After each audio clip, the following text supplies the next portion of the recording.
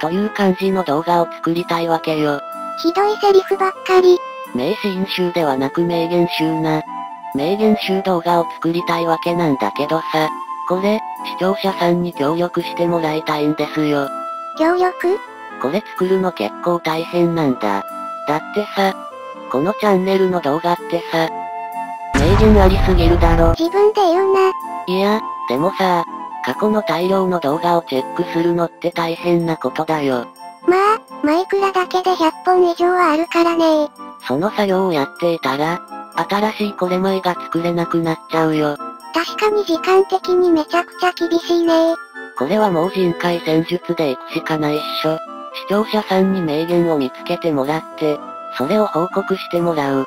僕が新しいこれ前を作っている間に、動画に使うセリフが集まるというわけさ。それに僕が選ぶより視聴者さんが選んだ方が、視聴者さんにとって面白い、楽しい動画が出来上がるからね。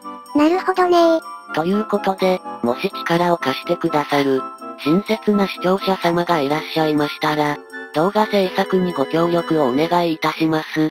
視聴者様の力で面白い動画を作りたいのです。よかったら協力してあげてね。今回集めるセリフは、生声以外の動画に限らせていただきます。生声実況やライブのアーカイブからのセリフは、なしでお願いします。またセリフは誰が言ったセリフでも OK です。僕でもニトリでもエイリン先生でも村人でも、このセリフを動画に入れてほしい、というセリフがあれば遠慮なく教えてください。私の名言はどれくらい集まるかな？あんまないっしょ。そんなことないでしょ。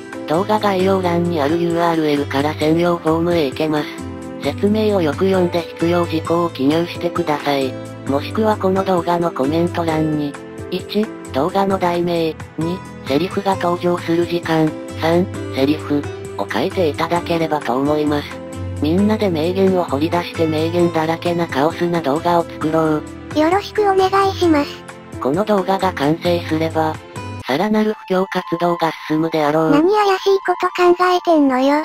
これはがチャンネルの経典になるぞ。これじゃ新興宗教だよ。